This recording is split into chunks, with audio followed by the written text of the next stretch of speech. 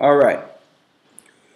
Uh, we went into the law, Deuteronomy 6, reading where we get the credo from. Hear, O Israel, the Lord our God is one, in Deuteronomy 6. A command coming directly from the Most High God, Ahia, Ashar, Ahia, to the children of Israel, to our foreparents, coming out of the land of Egypt. A decree that we should follow his commandments from that day going forth. Now, the lesson that we have today is a short lesson, but it's a much needed lesson. The trials of having the truth. All right? Once we get this truth or find out that we are the children of God, or even when Gentiles find out the truth that we are the children of God and that religion all over the earth is really a pretext to a new age, one world order religion to worship Lucifer. Something happens, one or the other. Either they ignore the information altogether and decide that they would rather deal with their tradition and not know anything going further, knowing that if they do keep to the truth, there's a level of accountability. That's one. The other one is people like you and I who know that it's the truth and know there is no option but to follow the truth, which is the Bible. Immediately when we find the truth, it's exciting. What happens? You go into the Word, you understand that everything else is a lie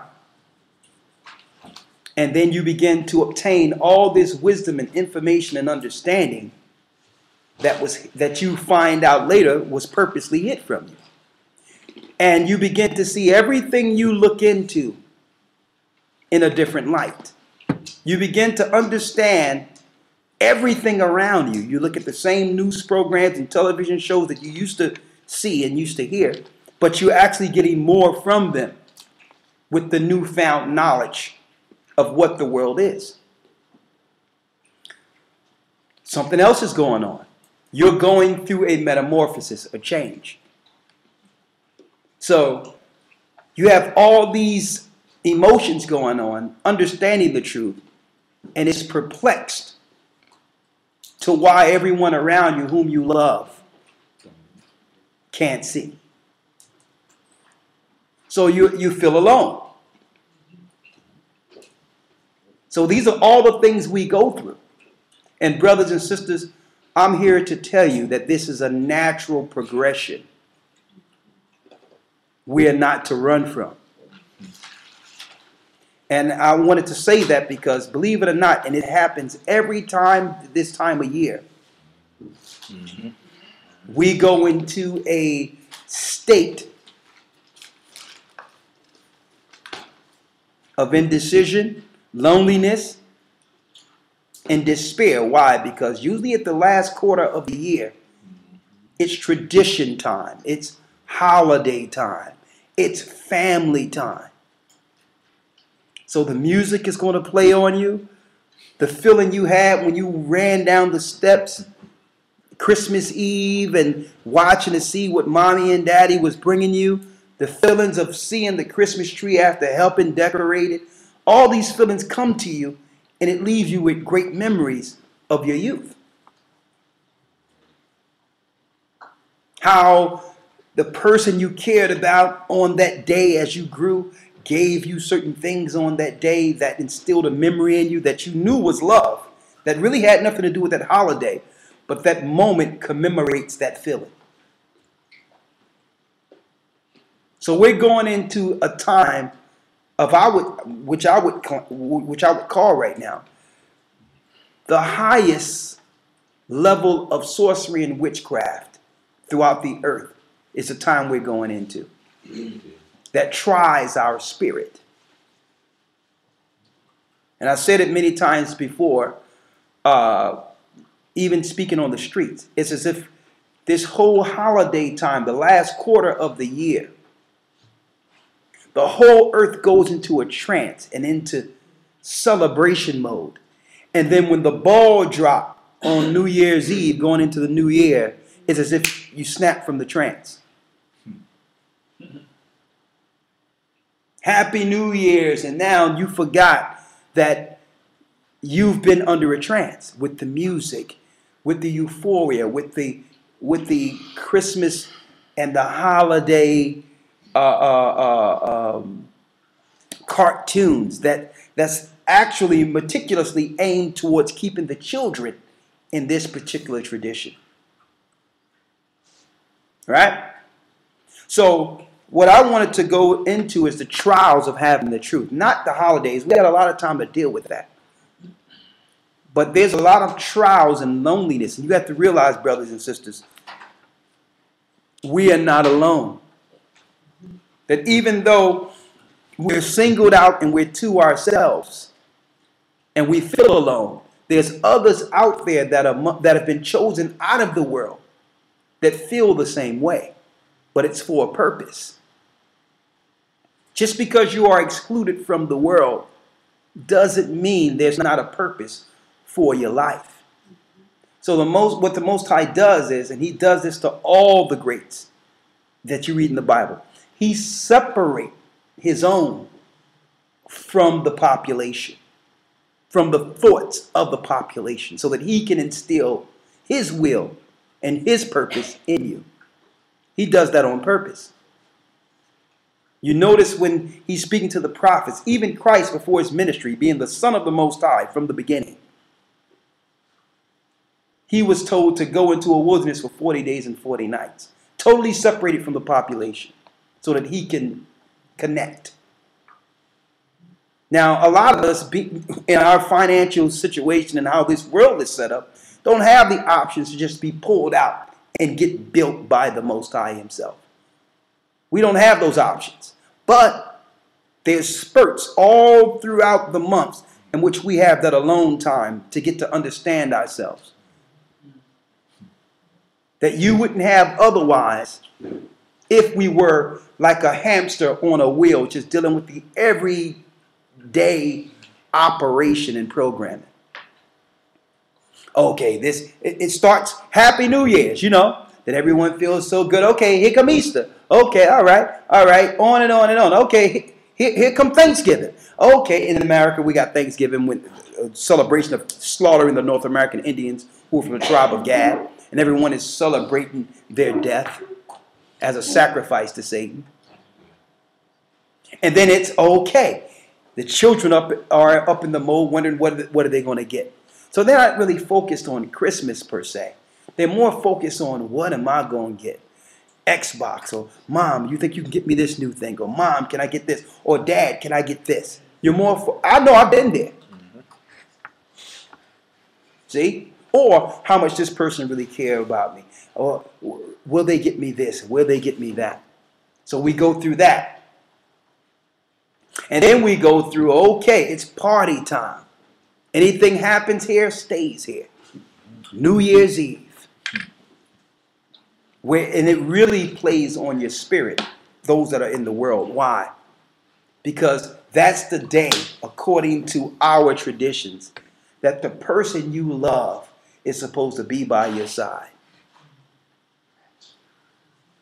so that you can bring in the new year a new year resolution with the person and and what about those who don't have anyone the loneliness and despair that comes from it there's more suicides and death during these last three, these next three months than any time during the year. So what we're telling you, brothers and sisters, is you've been pulled out for a specific purpose. And you will be alone because you are alone. Okay? If Christ was in this world, he would be alone. There's no church on earth today would accept Christ if he was to walk into their church. Not one church today. Christ would be alone. So I wanted to go into a few things so that brothers and sisters will that because sometimes people feel alone and they look to lash out at others because they're alone. not realizing it's the Most High taking an opportunity for them to examine themselves and connect. So we have to thank the Most High for leisure time. It tell you that in the Apocrypha, that that leisure He gives you to be alone is a blessing. Because you have to fight with the spirits within yourself. You have to, and we stay so busy in this world, we pay no attention to our deficiencies. We think that everything that's wrong is from the outside of us. But when you're but when you're alone, you have no one to deal with but yourself. The things you could have did differently, the regrets you have. All these things play into your mind, and it's just you and the Most High. Or the things that you would like to do, that how you would like to be you utilized. And anyone that have done anything in this world will, will and if you was, was to speak to them today, they would go back to that moment of loneliness where they got an epiphany or something just clicked. They never equate that to the Most High, giving them direction, but that's how it works. That's how it works. So we have to learn how to stay busy up here to connect with the Most High, even if we're doing nothing, so that our idleness don't become Satan's playground. Let's go in Ecclesiastes, Ecclesiastes first. And I'm going to show you. Ezekiel dealt with it. John the Revelator dealt with it. It's a normal thing for the Most High to separate those. And, I, and guess what? Usually when you hear about information like this, the world would want to use it and say, this is a cult. The first thing they want to do is separate you from your program. and They want to separate you from your family. They want to separate you from the things you've learned. And they, they've actually chalked that up as being in a cult. When really, we're not saying separate from your family. We never say it's, what we're saying is understand what you're dealing with and how you were brought up was to serve Satan. Okay. And two cannot walk together lest they be agreed. So when you get the truth, there is going to be uh, a, an initial drawback from the world. That's not a cult.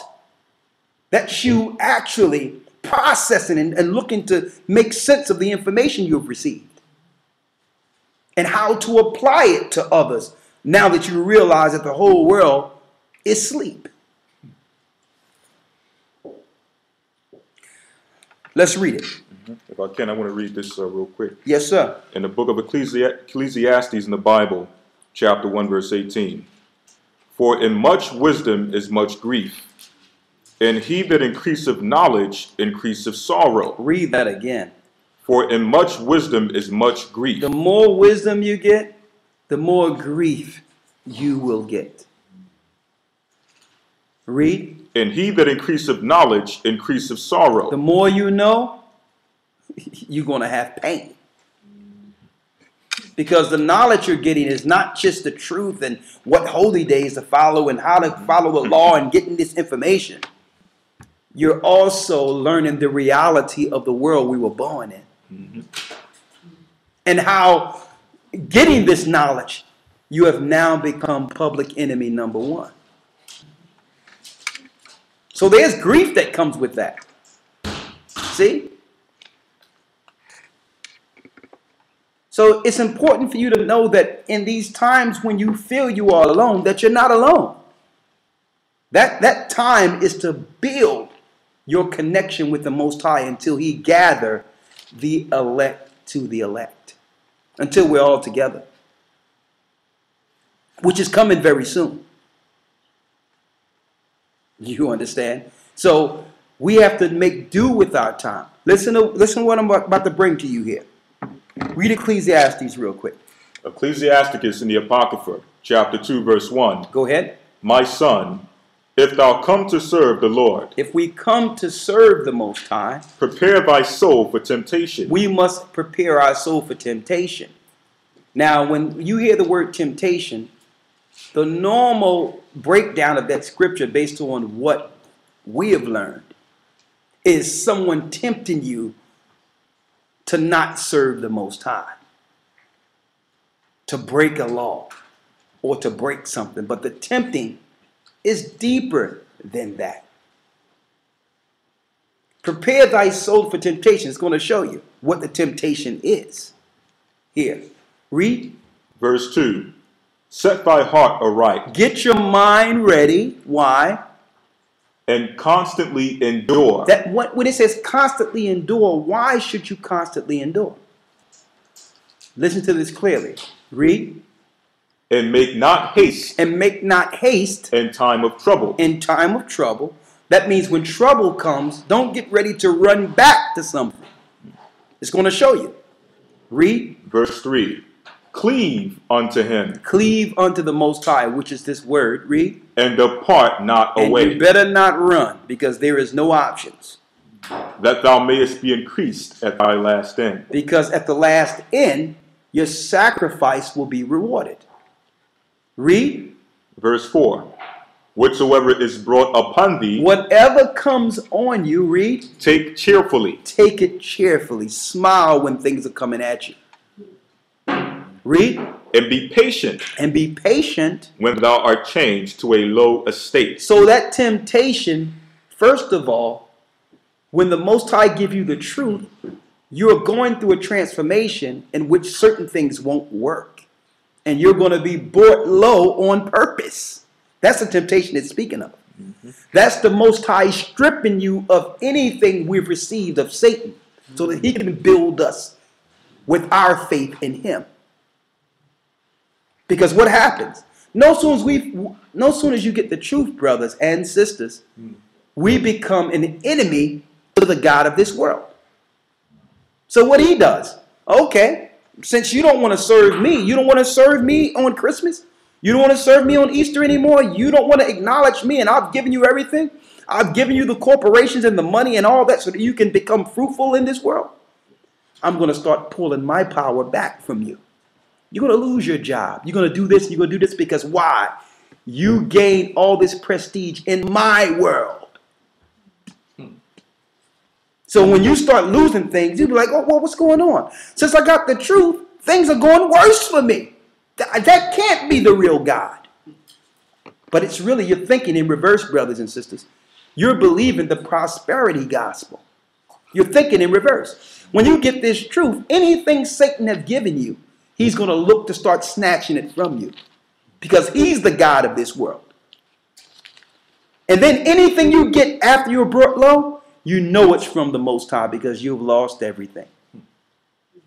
You're going to cleave to him and he's going to build you up to strengthen your faith. And you'll know that everything you got was from the Most High. Because it was through your faith and persevering through, through that metamorphosis, through that change. Now you're directed through the Spirit. You can't fall now because now your thoughts are clear. You can't fall now. You're getting direct information from the Most High on what to do, what to do next. And now you're growing up and growing up and growing up. People say, man, what's going on? Things are getting better and better and better. But yet you're not doing what everyone else is doing. Because he brought you low so that he can connect with you.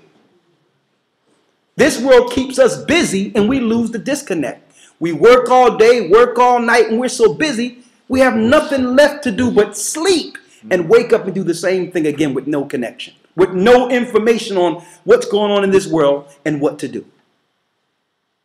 So the Most High is like, listen, you're too busy. You're going to lose your job. You're going to do this. I'm going to take everything from you. And the biggest issue people have when they have the truth, they, they know they're being faced with this situation and they try to hold on to what they have. Or try to make an excuse to why they need to hold on to this. No, you got sometimes you have to let go and receive the power and truth and understanding of the Most High. Right? What you have there? uh, quick precept to what you were saying. Uh, Go this is uh, Isaiah 59, 14 to 15. In judgment is formed a way backward, or burnt, turned away backward, and justice standeth afar off. For truth is fallen in the street, and equity cannot enter. Verse 15. Yea, truth faileth, Truth faileth, and he that departed from evil maketh himself a prey. See that?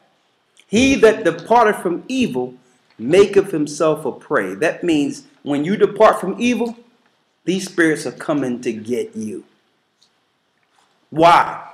Because it's not just you. They understand that once we wake up, brothers and sisters, that's not we're not content with us just getting the information. They would be happy if one just woke up and kept it to themselves. They understand that the Spirit compels us to pull others and have others see what we see. See, that's the threat.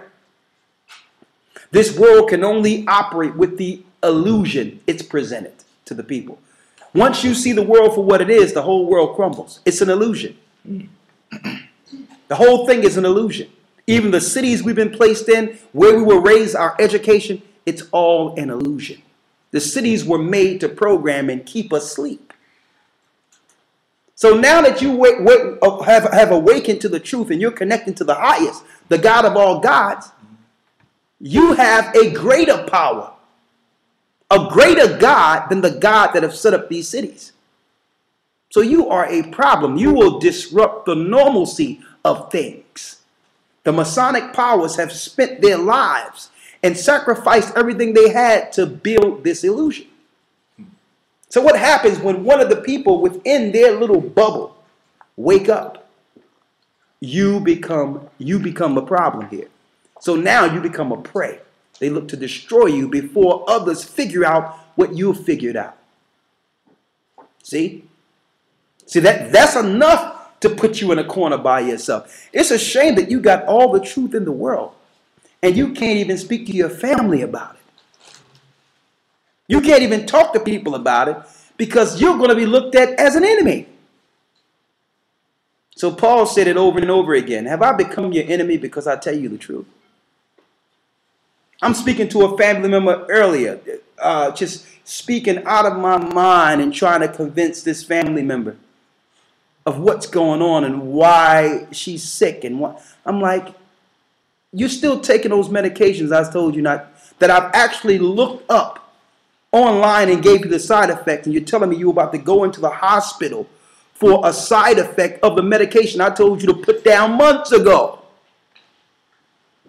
And she comes back and say, well, they keep telling me on TV and other people have this problem that I got to keep taking this. I'm like, so do you know that the whole system is connected together? that the pharmaceutical companies are connected with the corporate medicine and the corporate media.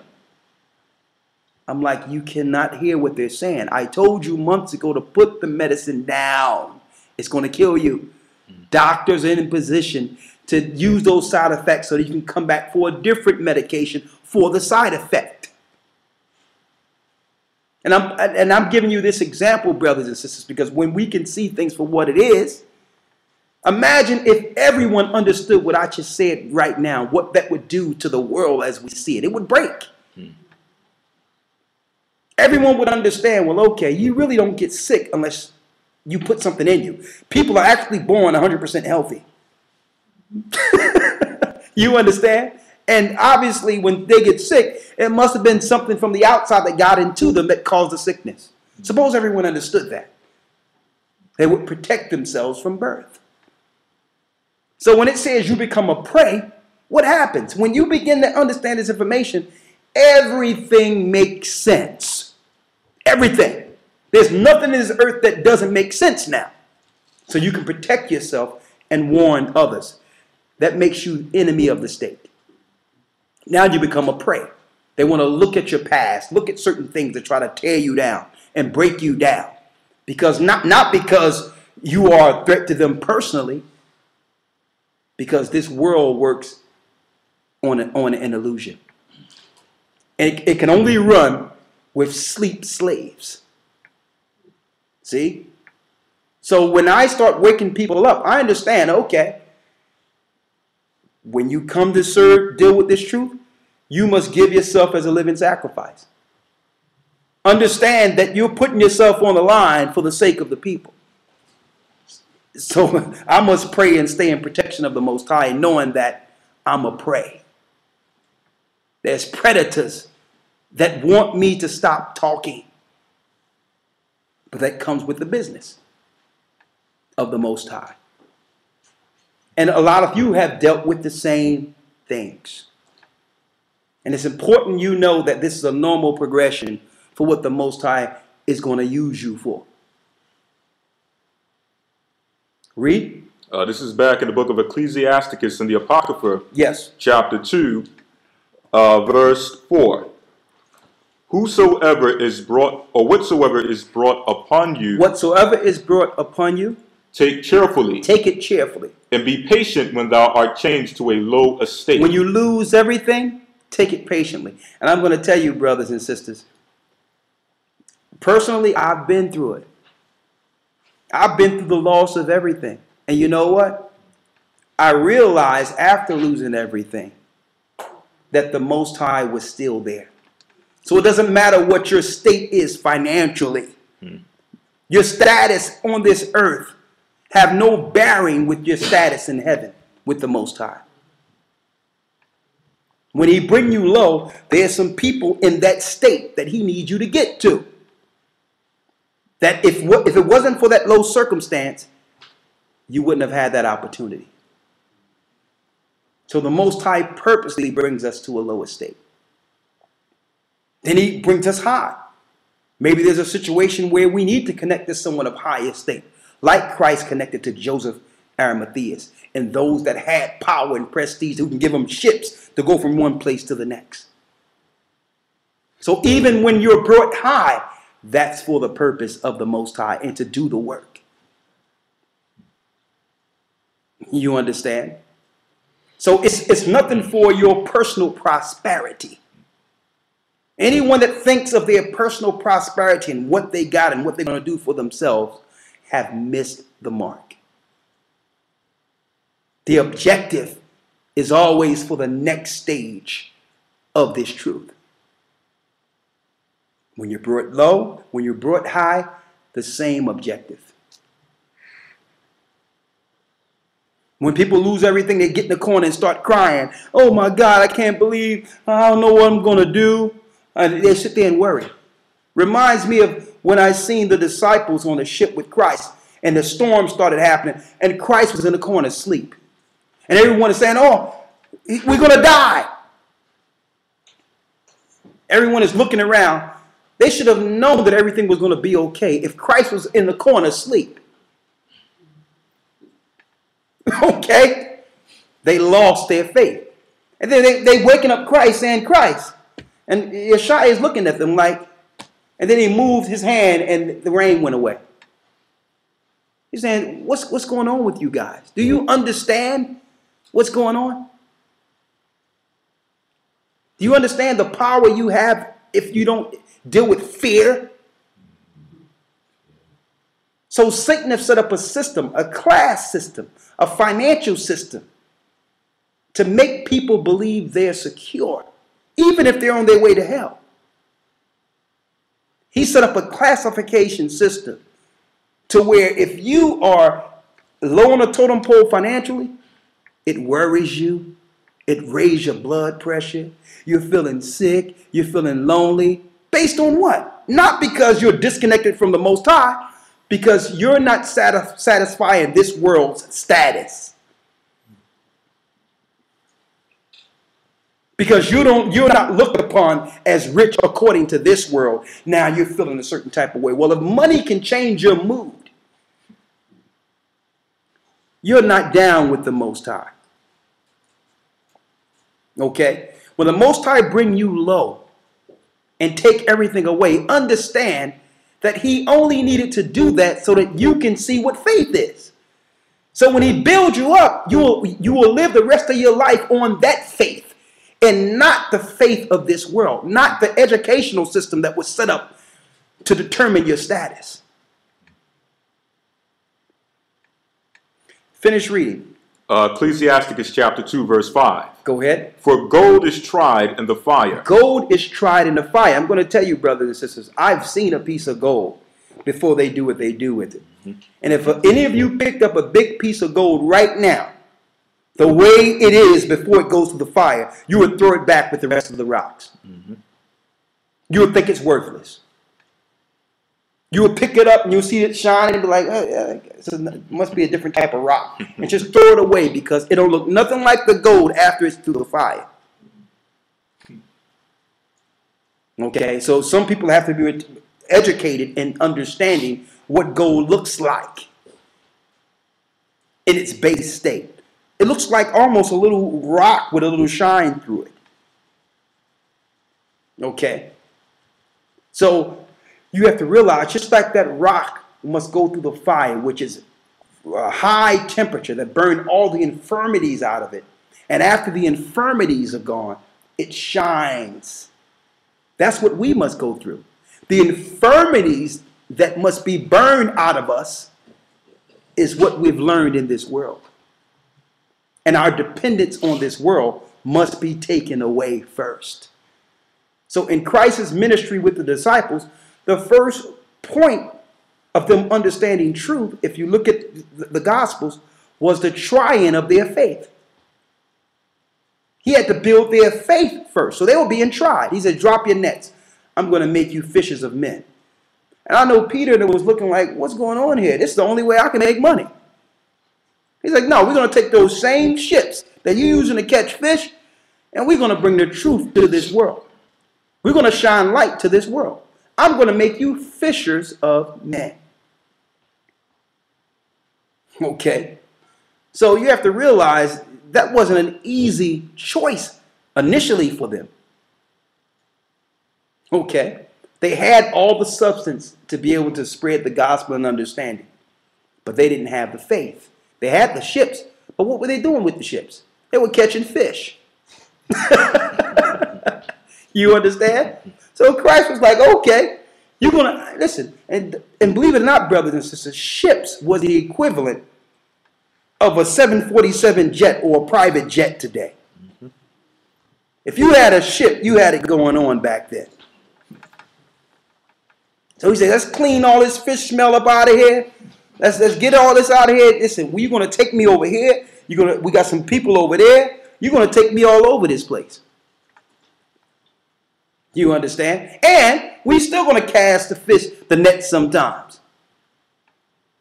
And, and, and going to that, I used to always go back to that story when I say the building of faith that, that Yeshua gave us.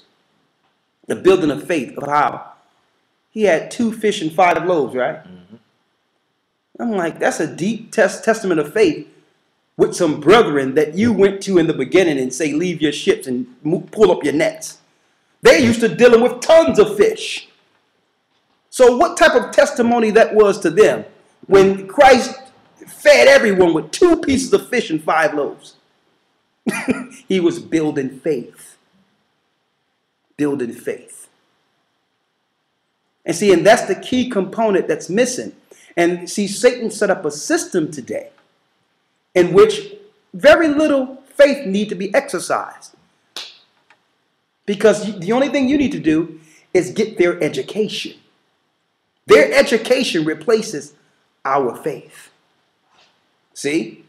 You get their education and you follow this. If you have a, a MBA, you're going to make between this and this. If you have a bachelor's, you're going to make between this and this. So everything is predicated off of you. Everything is predicated off of your dedication to build something in this world. So you don't you don't care about faith. You only care about your substance and what you work for. And that's good to, to one degree. But understand that you can never apply that to the Most High. Because that was your work for this world. Okay? Number one, if you have a master's of, of, and all that, and I'm not going against that because I've been educated in this world. But what I'm saying is, you're going to come to some trials, even on that level. Okay, because the people that you're frequenting, frequenting with that education, you're going to have to make choices of compromise. And if you stand for the truth, you're coming to the bottom with the rest of, of the people. Are you willing to do that? you understand? Are you willing to do that? because that that's what happens. Look at Luke, and I, I like to look at the disciples and what they went through because I'm like, that's the perfect trial. Yeshua, our anointed Savior, dealt directly with them. Luke was a Theophilus, high educated, highly educated. He wasn't even one of the original disciples. He was a convert from the disciples. And Luke, with all his education, after being converted, was he was dealt a task of compiling all the disciples' personal accounts of Christ and putting it into a body of work that we could read today. So all of his education and all that, the rest of his life was sacrificed for that. So how much money did he lose? How much prestige did he lose being a high Theophilus in Rome and in Jerusalem? you understand? And I'm, po I'm pointing this out because, brothers and sisters, we have many gifts out there. But the reality is, all of our gifts and what the Most High gave us, once He brought us down, was to now take those gifts and bring forth the kingdom of heaven. You didn't learn things for what you thought you were learning them for. And that's a whole, that, that, that's, that's, a, that's a cold, hard reality. That's a hard reality because we used to having everything for ourselves. This is for me, this is my family. Right?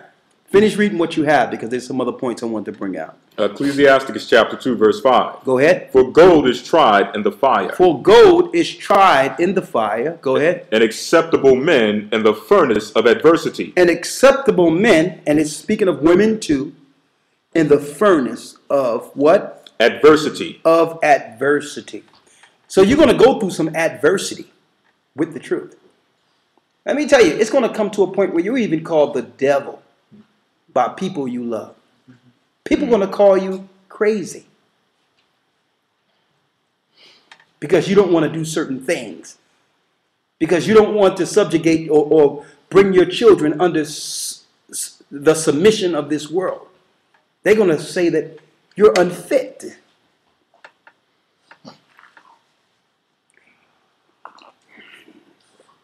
I hear it over and over again what brothers and sisters go through. And I, am not being uh, uh, a person where you would think I'm being condescending or or emotionalist when I say smile. Thank the Most High. If you were doing all the right things, the world would love you. While, while, while I would love to sympathize with what you're going through, that's what the Most High have you go through to be tried. See? So that you can come back stronger and better. All right?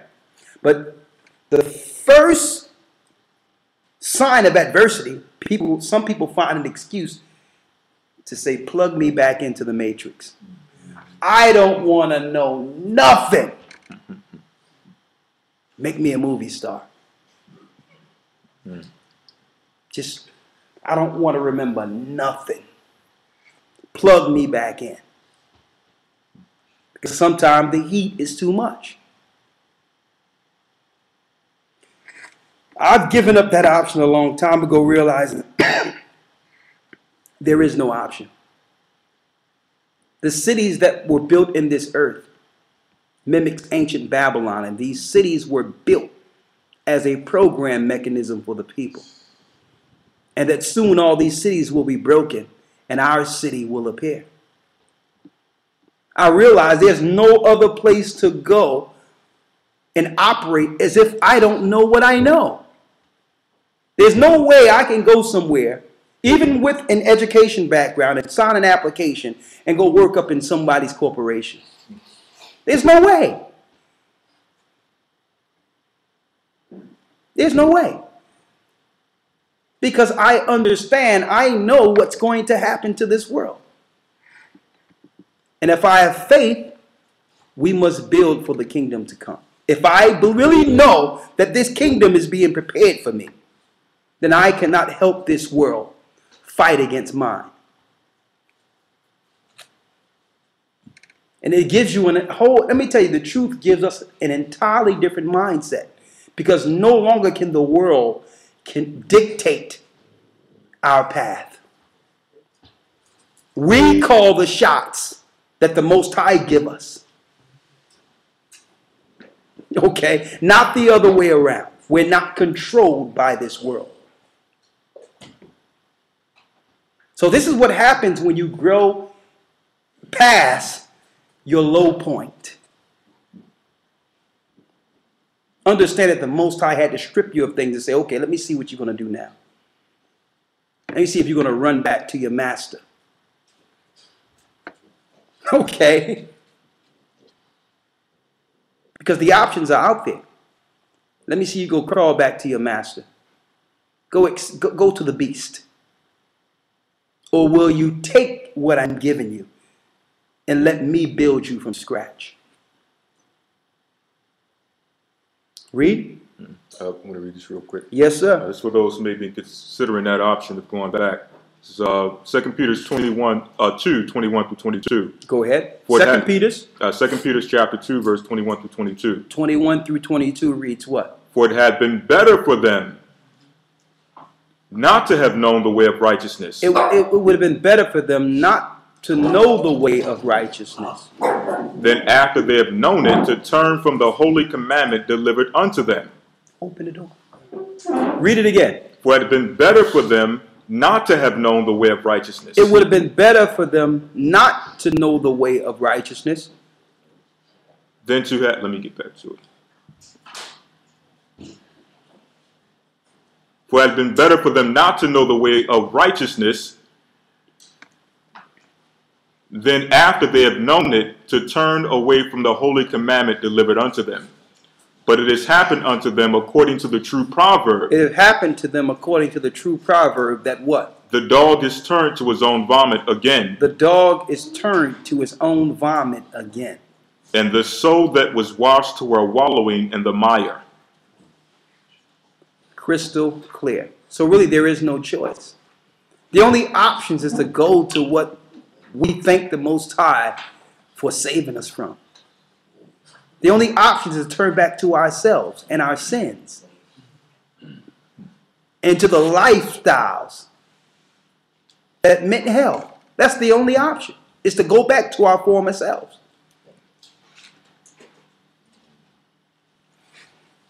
Read on. Ecclesiastes chapter 2, verse 6. Go ahead. Believe in him, Believe in the Most High, and he will help thee. and he will help you. Order thy way aright, Order thy way aright, and trust in him. and trust in the Most High. Ye that fear the Lord, wait for his mercy. Now, fearing the Most High is keeping his commandments. So while you're keeping his commandments, wait for his mercy. And go not aside, lest ye fail. And don't go aside through your trial when he's making you pure like gold, or you will fail. Mm-hmm. See, these are direct directions from the Most High because I know what we go through with this truth. I've known people who was put out put out of their house. It was between them and their wife in a Christmas tree, and the wife chose the Christmas tree. Okay, and the story was vice versa. I know a man who wanted to hold to a Christmas tree, and his wife wanted the truth. An idol. And I'm just giving you these examples of these holidays that are coming, but it doesn't just encompass these holidays. I'm going to tell you, in this truth, the Most High is going to put before you what you love first. Because he loved his son and sacrificed his son. So he's going to put what you hold dear and love to the stake first. And only after you go through your trials will he bring that back to you if it be his will.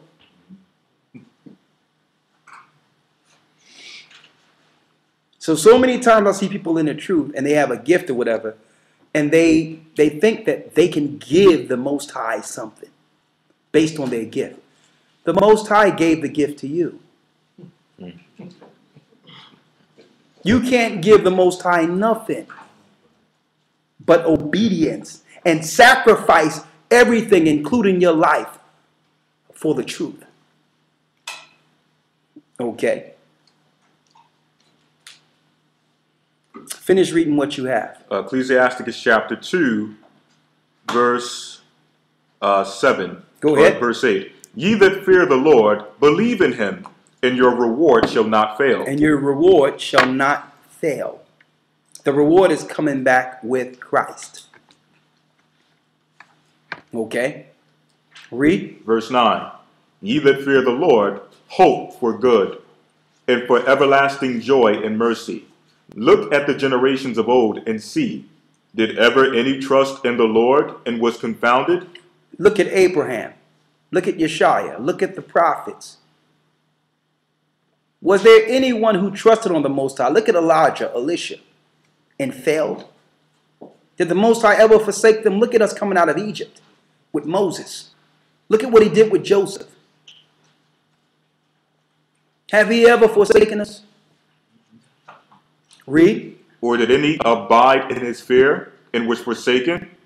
Or whom did he ever despite that called upon him? For the Lord is full of compassion and mercy, longsuffering, and very pitiful, and forgiveth sins, and saveth in time of affliction. Woe be to the fearful hearts and faint hands. Read it again. Woe be to the faithful hearts Woe is destruction to the fate to the faintful hearts and faint hands, and the faint hands, and the sinner that goeth two ways. and the sinner that goeth two ways.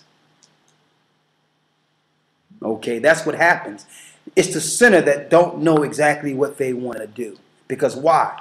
One of their choices is to indulge in their sin and to continue doing what they think they try to make a law into what they want to do in the truth.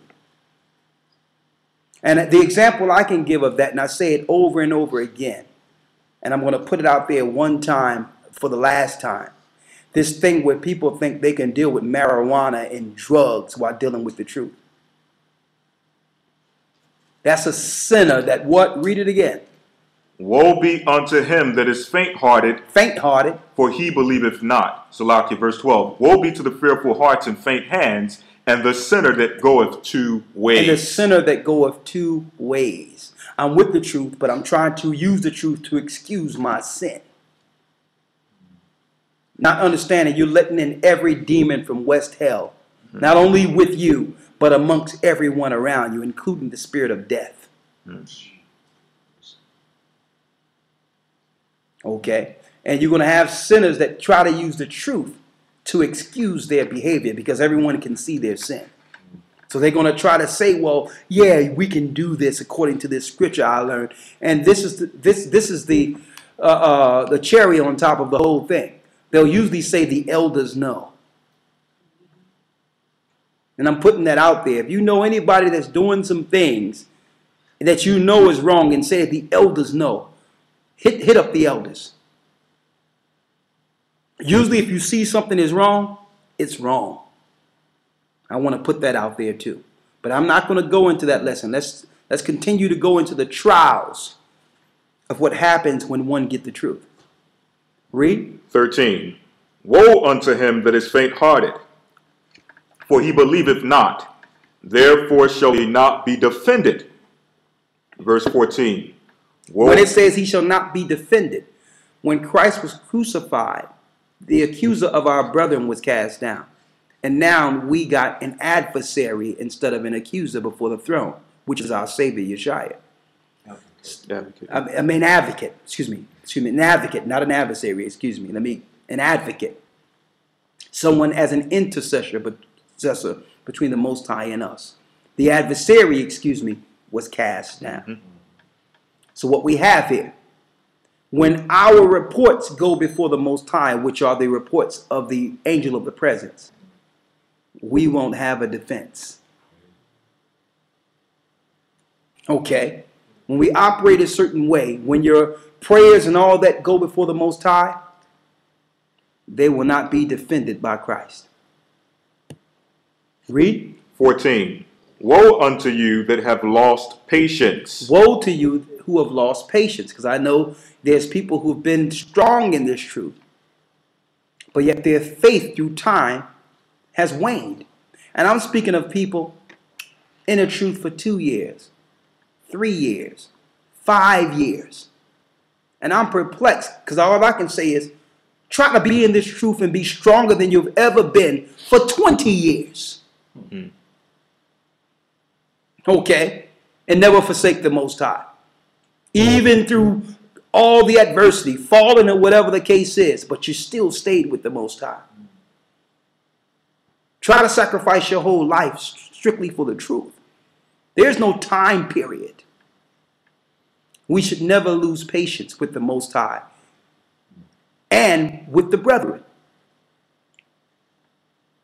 Read. Woe unto you that have lost patience, and what will ye do when the Lord shall visit you? Mm. They that fear the Lord will not disobey his word, and they that love him will keep his ways. They that fear the Lord will seek that which is well pleasing unto him. And they that love him shall be filled with the law. Will be filled with the law. Read. 17. They that fear the Lord will prepare their hearts and humble their souls in his sight, saying, We will fall into the hands of the Lord and not into the hands of men. For as his majesty is, so is his mercy. So we'd rather fall into the hands of the Most High than in the hands of men. So we deal with, with, with what we need to do. We deal with going through the trials, the tribulations, being brought low, making a choice not to succumb to the pressures of this world. Because there is a lot of pressure, and it usually will come from those close to us. So, what happens when we first get this truth? Let's go to Ezekiel 3 real quick. And hold Ezekiel 3 and get Revelations 10. Hmm.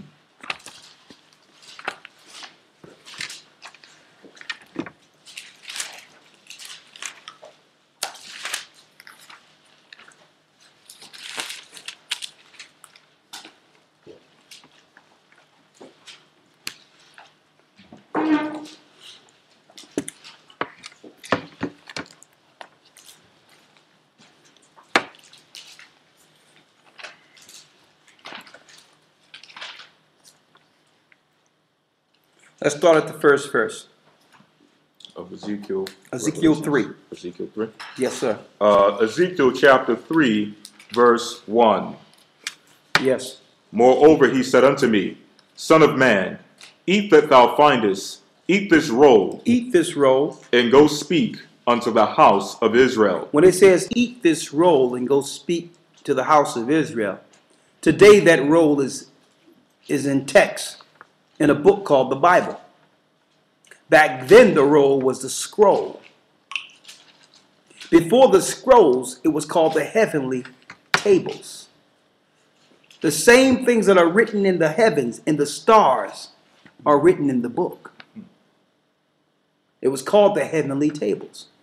So, what's in the stars? I'm talking about the original intent of the stars, not astrology but in astronomy. It's a story from the beginning to the end that have already been written. Okay? And what's the difference between astrology and astronomy? Astrology is witchcraft. Dealing with the horoscopes, that's witchcraft. Because they use astrology for the psychological uh, uh, connection and behaviors with the people that are born under certain stars. That means they understand your weaknesses and strengths, knowing you were born at a certain time, and it's used against you. Astrology is true, but it's witchcraft.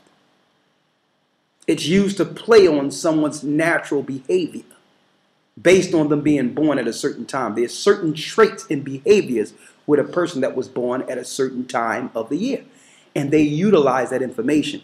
But it was only it was only for the angels to know that. We weren't supposed to use this for necromancy and playing on someone's emotions because we know their behavior patterns. Mm-hmm.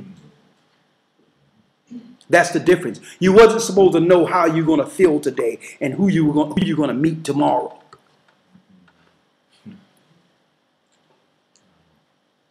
Okay? So there's a clear difference in what the disciples were dealing with and what we were dealing with in the Old Testament when reading the, the tables than what we're seeing now. They were reading, if they could read the tables and put them into context, it would be the Bible. It would be the Bible. The heavenly tables from the beginning was made scroll and given to Moses. When he's seen the beginning and the end, it's written in the stars. So now Ezekiel, like the other disciples, they were shown what? Everything. So he says, Ezekiel, eat this roll. And that's a spirit on us when we first have the truth. That, that means we tear a Bible to shreds learning it. And I've seen some people's Bible twisted and marked all over the place where only they can understand it. And I look at their Bible, and I don't say anything, but you know, in my mind, I'm, I'm like, okay, I can relate because I was there. I tore my Bible apart, marking it and putting it in a way where only I can understand it. So when other people seen it, it's like, man, huh, you could take this. But I knew how to get everything I needed out of that Bible. I marked it specifically for me, and I know that progression we go through with that. That's that that's that time where we're brought low. We don't care what happens to us, and we're just sucking it all in. We're just getting everything the most high because we know this moment is not going to be forever, in which we can understand things. And it's it's like the most high is writing it before us and understand everything clearly. It's like we understand that it's only a moment of time that we go through this. So we can't sleep normally. We can't eat normally. Only thing we can do, we're living off of the word. We're eating that roll. That's the beginning of this truth. Where everyone is looking at you like you've been a I've never seen you obsessed with the Bible in a church like this. Hmm. Where you never was tasked with learning the Bible in the church. You understand? Because now you can relate the, to the Bible, understanding it's speaking of you. It's a whole nother level of connection now. So he told Ezekiel what? Moreover, he said unto me, Son of man, eat that thou findest. Eat that thou findest. Eat this roll and eat, go eat this roll and do what? And go speak unto the house of Israel. So before you can speak and let the Most High know what Israel, what's intended for Israel, before you can go speak to them, you must go through that progression of just eating this truth and sucking it all in, and what it means. And now you got enough to tell our people because when you start bringing out certain things, they're going to have questions. Okay, when you start saying certain things, automatically it clicks like, well, if if you saying this, then what about this then? This doesn't make any sense. Now you're speaking and teaching against their programming. And you have to make sense of their programming now. Okay? you have to now start making sense so that they can actually begin to wake up. So you got to go speak to the children of Israel. Read. Verse 2 so I opened my mouth. So he opened his mouth. And he caused me to eat that roll. That's what we all go through. That's a normal progression, which is eating this word. It's food. That's why he told, that's why Christ told Satan during the temptation, man cannot live off bread alone, but every word that proceedeth from the mouth of the Most High. Like this is spirit. You can live off of the word, brothers and sisters. It can take us to the point that of hunger, through hunger, to the point we get food again. Okay, the spirit can be nourished and, and maintain the body to a degree. But when you're in between those zones, that same spirit is going to say, okay, you got to eat something right now. Or, you, or your spirit going to be all the way over. Okay? Go, don't eat much. Just go get some lettuce, get some tomatoes, get some oregano. Just get a little bit. Don't eat much because you want to stay right here. So that spirit will let you know because as you read this, the Bible and read and, and actually deal with it, if you look at time, time actually go by fast. And you don't realize you'd have missed like two meals when you're really in the Bible. Because you're living off of it. It's a source this world haven't been promoting to you. It's a source of life. Christ and fast 40 days and 40 nights. Okay, so when Christ, the first thing Satan showed him at the temptation was, was this big thing of bread. Go ahead and just take a piece. Says, Man cannot live off bread alone, but every word that proceedeth from the Most High. That tells me that there's another life source that sustains us. That's what happens when you first in the truth and everyone looking at you like you're crazy. You, but you, you, you, but again, you have to have some understanding of what they're seeing too, because it's not normal. You're not on a normal life progression. You're, they're noticing you're missing certain meals. They noticing certain foods you're not eating anymore. They notice that you're so consumed with this Bible that they're losing you as they know you. So you have to be have some understanding of what they're going through because they're right. They're right. You're being born again. You're changing right before their eyes. And the only thing that, because they have nothing to draw from in this world, because they don't really know what Christ went through and what the disciples go through, went through. So their initial understanding of what they're seeing here is that you're crazy, that you're losing your mind. I've never seen somebody up in this Bible like this all the time and don't care about nothing else. They think you're crazy. So you have to understand that you're being moved to the crazy zone now. Okay? But that's what happens. So you have to realize, brothers and sisters, when the Most High wanted, wanted his elect to get this information, he would tell them to go from amongst the people. Knowing that it's a change that's happening. He said, well, go to this cave, go into this area and get away from the people because to this world, connecting to the Most High is crazy. Okay? Finish reading. Ezekiel chapter 3, verse 3. And he said unto me, Son of man, cause thy belly to eat and fill thy bowels with this roll that I give thee. Then I did eat, and it was in my mouth as honey for sweetness. So it was sweet when he first ate it. Because the truth is sweet. That means you can sit down with any. I'm we need you to go there. Stay there real quick. This is finished. Hmm? It's, it's finished. No, there's more I want to get out of it. Okay. All right. Because at first, what happens is it's sweet, right? And we go through that. Oh, there's no religion we can't break down. I mean, we're looking for a debate. I mean, you on a bus, you see a Muslim. Oh, oh my God, I, I, I've been through it. Oh, let's let the Jehovah Witness. You never let a Jehovah Witness in your house. They knock on the door. You inviting them. You give them coffee, tea. You just, oh man, I, am now I'm sparring now. We all go through that.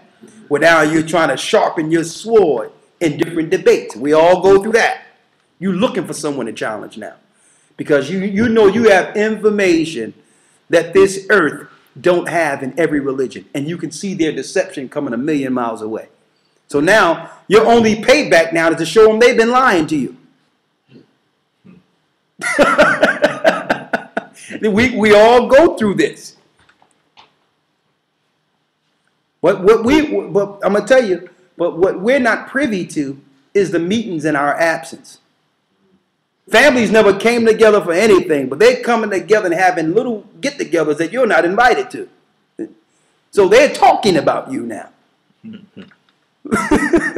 That's how it works. It's like, is he is he all right? It seems like uh, he's not. And the first thing the mama say, well, he been online and he seen some somebody talking. That's how it goes. And then I become public enemy number one. I ain't, I don't even know what's going on. Everybody's aimed towards saying, trying to come at me now. And I'm just teaching the truth. All families hate me and everything. You understand? But that's a normal part of it. I'm going to be hated. They're going to call me all types of things. They're going to compile everything that's negative that's out there about me into one compilation and say, well, this is what he is. And ignore all the information that have been given through, through the inspiration of the Most High. A diversion. But finish reading. Uh, verse 4 And he said unto me, Son of man, go, get thee unto the house of Israel, and speak with my words unto them. For thou art not sent to a people of a strange speech. So that means we weren't sent to a people of a strange speech. So the initial ministry was not to the Gentiles. Read. You good?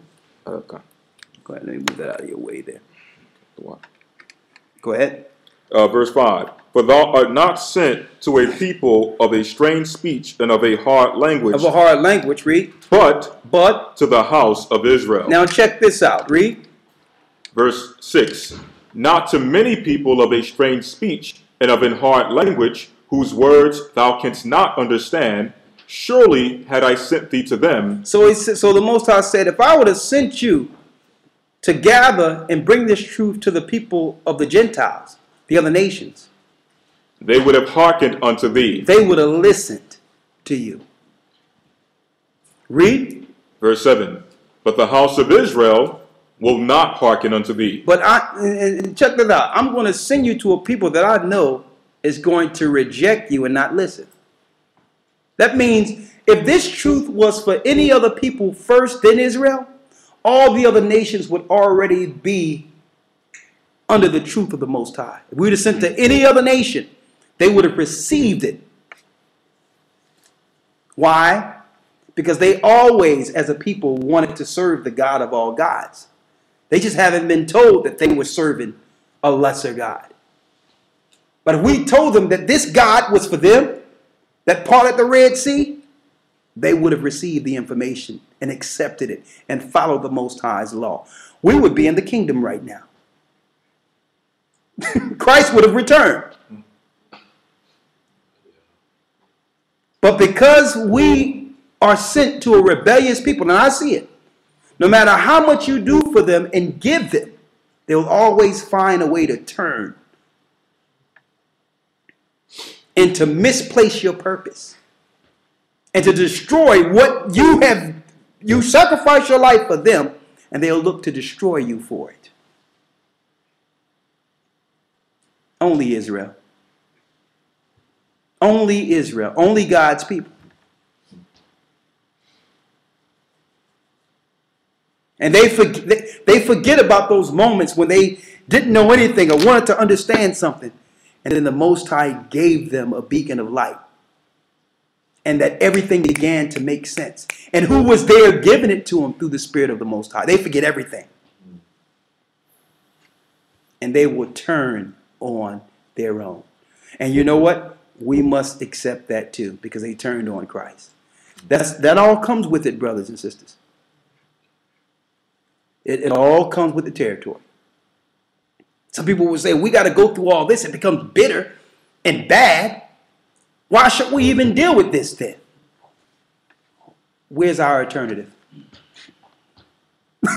Is there an alternative but to deal with this and persevere through it until our kingdom come? Is there a choice? The only option is this world. So we must be long suffering and just deal with each other and forgive each other through all these shortcomings. We have to. We just can't say, well, I'm not going to deal with you no more. I don't want to deal with you no more. There'll be no people to deal with. There'll be no people to teach. So we must forgive, persevere, love anyway. Read on. Verse 7 But the house of Israel will not hearken unto thee, for they will not hearken unto me. He says, listen, they will not listen to you because they won't listen to me. So Ezekiel is sitting there, he getting all this information to go and tell Israel the kingdom will soon come. That the kingdom is for them. And the Most High tell them straight up, listen, you're going to have to be tough as nails here because they're not listening to me. But I'm going to send you to them. And they're not going to hear you either. but, but you got to teach anyway. So if you think you're going through something personally with your family members and all that, look at what the disciples and look at what the prophets went through. When the Most High told him directly, these people that ain't listening to me, when you you go out, so why should I be flogged and whipped and get things thrown at me for people that don't want to listen to you? But he had to go anyway.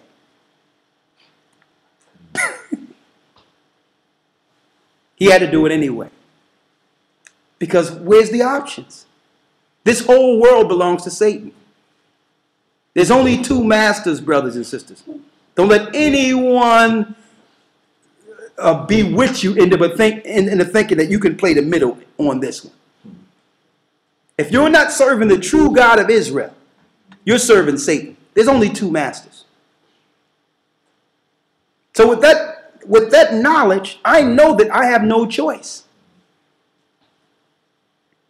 Okay? If I'm not doing what the Most High said, by default, I'm serving Satan.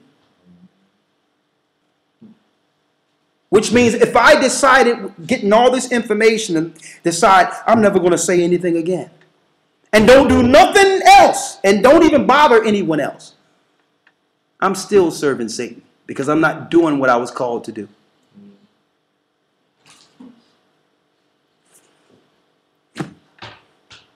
Hands tied, right? Hands tied. That's what the truth is. We're bound to a kingdom.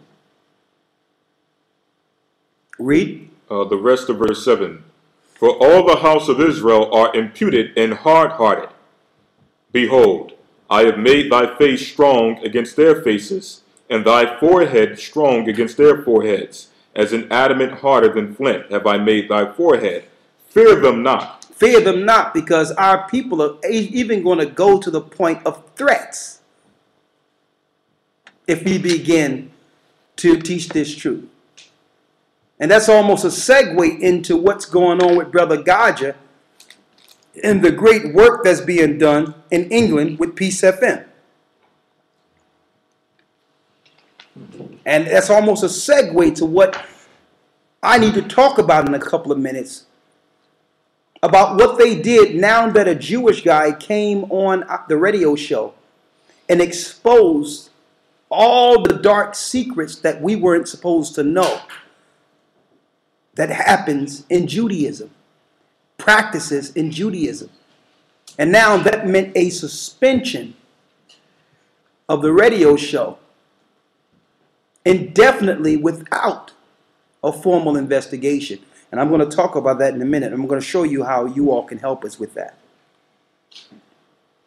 And we have some uh, footage. We have some footage that we're going to show that soon will be released. And I'm going to tell you all the whole spiel here. And we wanted to talk to you all first before we release the video publicly. Okay? But I'm just saying, this is what we have to go through. Read. Verse 9 As an adamant harder than flint have I made thy forehead. Fear them not. Fear them not. Neither be dismayed at their looks, for they are a rebellious house. For they are an rebellious house. So the Most High gave us this role so that we can go speak to a people that will even reject us. But there will be the few Jews that the Most High will utilize. And I'm going to tell you, when one comes to the truth, the true knowledge of the Most High, the angels rejoice. Mm-hmm. So it doesn't take a thousand people to come to this. This is not the mega church of Satan. The Most High is only dealing with a few. So if you don't see the large in number and think that that's the example of whether or not the Spirit is there, the Spirit is actually in the mega churches, to tell you the truth. The Spirit of the devil, the Spirit of the fallen one, Satan. And I even checked this out because the closest thing I've seen in mainstream religion as far as organization and bringing forth some level of information to some degree, at one point, to some degree, even though it's satanic at its core, was the Jehovah Witnesses, started by a Jewish guy named Charles Taze Russell. But now they're moving their literature into accepting a one world leader. They're shifting their whole thing into accepting the one world order and how to operate within it. I even got the article. I'm going to go into that soon at, a, at another time.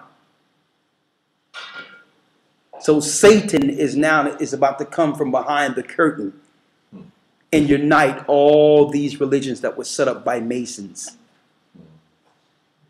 Now let's show you that John the Revelator went through the same thing before I go into my next part of this. Oh my goodness. Let's go. Revelations 10 and 7. Read. Uh, Revelations 10 and 7. But in the days of the voice of the seventh angel, when he shall begin to sound, the mystery of God shall be finished, as he have declared to his servants the prophets. And the voice which I heard from heaven spake unto me again and said, Go and take the little book which is open in the hand of the angel. Now we know that little book that's open, open in the hand of the angel is the heavenly tables, which is the Bible today. Read. which standeth upon the sea and upon the earth. And when I went unto the angel and said unto him, Give me the little book. Give me the little book. Read. And he said unto me, Take it Take it and eat it up. and eat it up. So John on the Isle of Patmos was also told to eat this roll. To show you that it was it's from the heavenly tables, it tell you the angels are holding this. Read about the angel again. Uh, verse 8 And the voice which I heard from heaven spake unto me again and said, Go take the little book which is open in the hand of the angel, The hand of the angel read, which standeth upon the sea and upon the earth. which standeth upon the sea and the earth. When I went unto the angel and said unto him, Give me the book, he said unto me, Take it and eat it up, and it shall be it, it shall make thy belly bitter, but it shall be in thy mouth sweet. It shall be in thy mouth sweet. When it says the angel between the sea and the earth, you can just look at the feet, foot on the right here. His feet is on the earth, one is on the sea, and his hands are like this. So the heavenly tables are in between the book. Mm-hmm. It's the stars. That's that little book that's in the angel's hands. That was made into record. They're holding the truth of the Bible. Read. Uh, it shall be in thy mouth sweet as honey. And I took the little book of the angel out of the angel's hand and ate it up. And ate it up. Read. And it was in my mouth sweet as honey. It was sweet as honey, but what? And as soon as I had eaten it, my belly was bitter. My belly was bitter. Because why? It's sweet at first. Until you realize what comes with all this knowledge. What comes with all the truth. The reality of the world we, we, we are in, and the fact that we have been initiated from the Most High Himself to fight against this world. And what it may mean for us. All those realities come into fruition when you eat this roll and understand that you have actually been initiated into a spiritual army against the armies of this world. The example I can give you on a low level those that are in, in Freemasonry today, a lot of them are initiated. Some request, but a lot of them are pin, handpicked. And it's not until they're between the 30 and 33rd degree that they're told that their doctrine is Luciferian. And it's their job to find and destroy those who belong to Christ. So that's their initiates. And when they get high in rank and high in understanding, they know spiritually who they being who they have been initiated to fight against.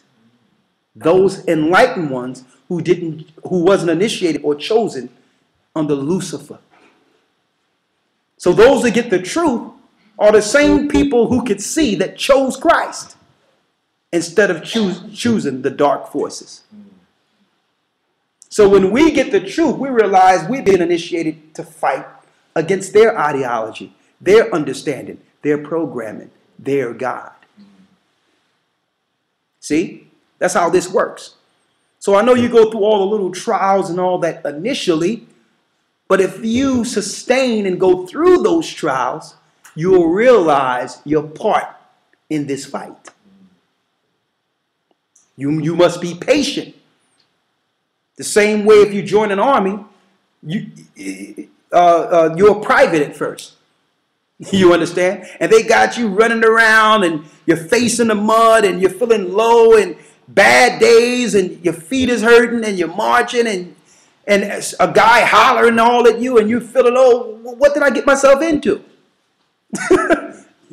you, you actually being broken to become what? A force.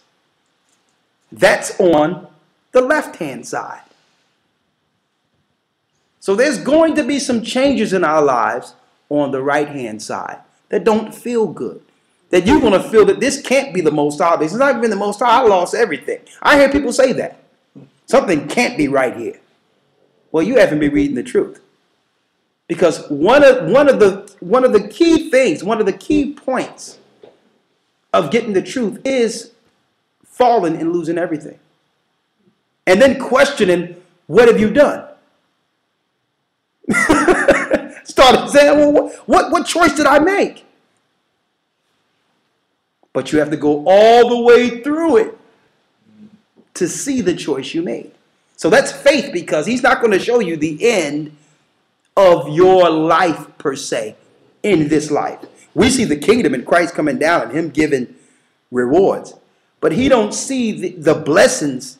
You don't see initially the blessings you can get until you got them and know what you need to use the blessings for. So when you're halfway through, that's when Satan come in and say, listen, you may have made the wrong choice here. you understand? And this is still here for you. You may have made the wrong choice, but your life is still here. Now just back up from that Bible and come back. Don't worry about that Israelite stuff. I got a church for you. Some good people in there. Mm-hmm. You can just go back to your church. They got dinner for you. Everything is good. Go back into your programming. You got your fellowship. Everything is good. And then you're going to start resolving things. Well, I can celebrate Christmas and Easter. Why? Because I know in my heart is not right, but I'm doing this so I can go in and I can convert other people through due time. That's how they try to convince us that they haven't turned to Satan. I'm just infiltrating right now. I'm like Paul. Paul didn't celebrate Christmas.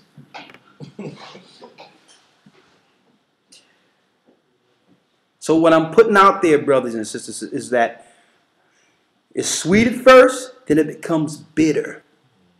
And the reality is, when you get into the truth, you're going to find the sweet, all the sweet stuff happened in the beginning. Hmm. That's where all the sweet stuff is.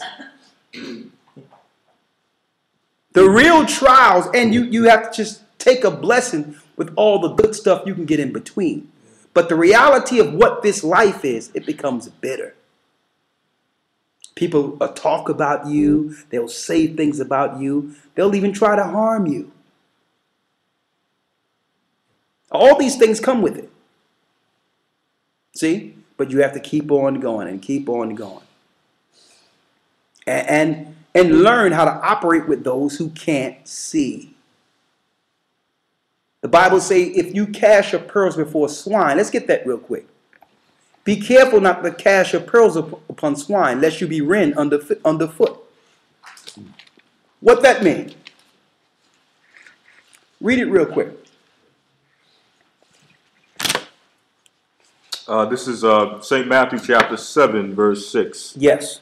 Give not that which is holy unto dogs. Give not that which is holy unto dogs. Read. Neither cast ye your pearls before swine. You cannot cast your pearls before swine. Why? Lest they trample them under their feet and turn you and shall rend you. And shall destroy you. That means you cannot force information on people who's not worthy to receive the information. You try to force this on somebody they can use the same mm-hmm. things you're bringing them to tear you down and to destroy you. So if you see some people that are rejecting you, the Bible gives you a number. After the first and second ammunition, one is a heretic reject. You got two times to try to show somebody something before, and if you keep forcing it on them, they're gonna make they, it's gonna be offensive to them now. Mm-hmm. They're gonna look to destroy you now. The Most High give you two times to show somebody. After the second ammunition, you got to reject them. You got to say, not reject them to the point where I don't want to deal with them, but don't go there no more with them. Wait till the Spirit brings them around, like He brought you around. Because anything you do, they're going to use an opportunity to rend and destroy you. You cannot cast your pearls before swine. So Christ wasn't trying to cast his pearls amongst the Pharisees and scribes, knowing that they, in, in their heart they wanted him dead. So he didn't give them the mysteries to the kingdom of heaven. He didn't give them certain information because it wasn't meant for them to get it. He didn't cast his pearls before swine. So you have to get out of this mindset that I have to just give this to anybody I see and don't realize that there's an order of how to relay the information. There's an order to it. Or, believe it or not, this, this truth can be used in reverse. Satan can use what you know to help you destroy yourself. There's an order to it. This is not for you to go into your home and become a tyrant with the people you love. That's husband or wife. That means if your wife is celebrating Christmas, and don't get it right now, you can't take that from her. Okay? You have to go with the scriptures that, that speaks about dealing with an unbeliever. If she be pleased to dwell with you, you can't cut her off. That means she still love you. And you and she always loved you, and Christmas was a part of that love. You can't expect her to snap right out of it. You understand? You have to realize what she's going through. And if she say, I still love you, but I'm still going through a transition here, you have to work with her through that transition. And vice versa. That don't mean you celebrate Christmas, but understand what that means for her. You don't got to buy no gifts and all. Be like, listen, babe, all right. Well, you going to deal with that. Understand I'm not going to participate. But until you see it and know it for yourself, I can't take that from you. As long as you still make sure the things we have in agreements in love, we keep that going, in time you'll understand. Instead of coming through your house and being a tyrant now and just want to tear everything apart. And she didn't have the opportunity to see what you've seen yet. It's wrong. That's being a lion in your own house. And the same way when it comes vice versa. There's a way in which we can operate with this knowledge and bring souls to the Most High without becoming a tyrant. Thinking that we now must dictate the law everywhere we go, as if we haven't sinned. That can't be. That can't be. So, what happens is we turn enemies on ourselves and then claim it's because we stood for the Most High. No, you just didn't use wisdom when you get that roll, you eat it, it's sweet.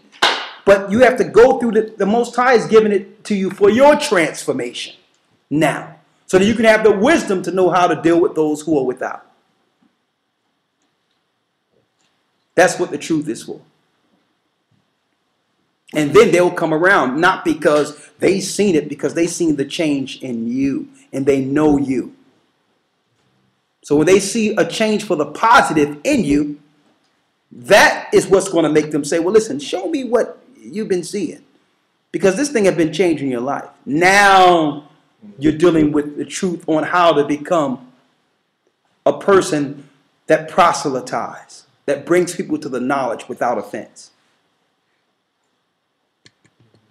What you got? Uh, 1 Corinthians 8 and 1. Read it. Now, as touching things offered unto idols, As touching things offered unto idols, we know that we all have knowledge. we know that we all have knowledge. Don't forget it's sweet when we first get it. Go ahead. Knowledge puffeth up, But knowledge can puff one up. It can blow up our heads. Read. but charity edifieth. But charity, which is love, gives someone's understanding or edifies to a person. Charity or love, if you really love a person, you're going to work with ways they understand to get them to come around, not force something on someone. These things can have sentimental value. I'm speaking of these holidays to people because there's a sentimental attachment to how they felt when they grew up and they seen the love of their mother and father together on that day. And that was there every year they, they that's when they knew that their family was together. Their father loved their mother, their mother loved their father. It may have some sentimental values that they don't just want to forget. So it's a way we have to understand what people are going through without snatching it from them and snatching out their heart and snatching out their memories because those memories were real. you understand? So we, we make enemies. And now they're looking to destroy us. Not because what we had was a lie, because what we did with it and how we're operating with it. See?